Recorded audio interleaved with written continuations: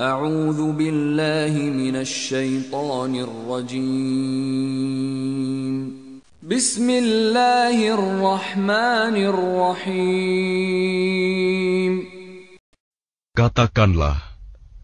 Aku berlindung kepada Tuhan yang menguasai subuh, fajar, dari kejahatan makhluk yang dia ciptakan, dan dari kejahatan malam apabila telah gelap gulita,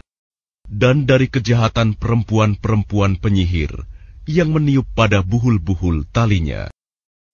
dan dari kejahatan orang yang dengki apabila dia dengki.